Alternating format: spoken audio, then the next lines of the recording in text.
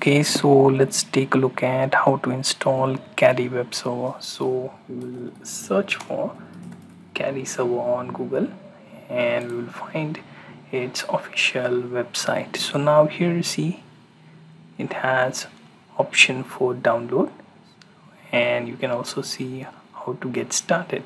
So let's go to the download page to check out how to work with it. So here you see basically points us out to the packages. So what we can do instead we will just go to documentation and find out if we have access to apt repository. So let's go to install check Debian Ubuntu and here see we do have access to is apt keys. So what we can do select the first line right so copy then open terminal type in or simply paste it. Use tab to go to end of line.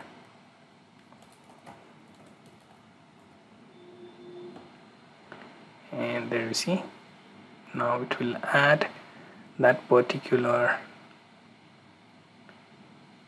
archive repository within your system. Now let's clear this. Come back and let's go with second line and actually get the package. Right? Now what we can do is can go to next line copy hit enter. And there you go. Now what we have to do is come back and let sudo update. You can also type this but I just wanted to get everything from there. And now it has found our new package hopefully.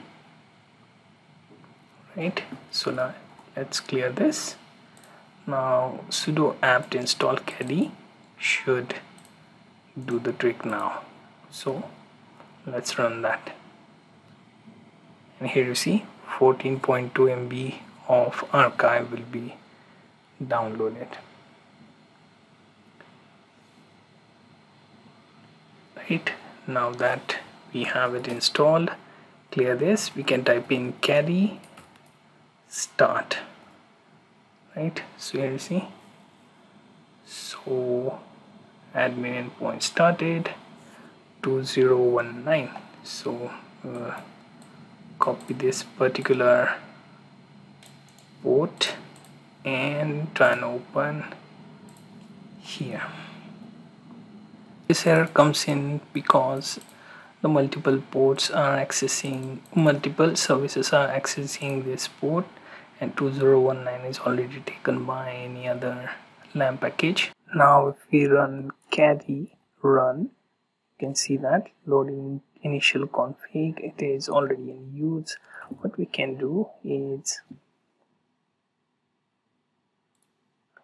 okay typing in caddy should show you the list of commands right? So after going through all of this you can type in run and you can check out if there is any already running service. You can close that and then run. Here you see. So we have 2019 port already being used. So what we can do instead is we can open to something like 2016 and we can pass those configurations.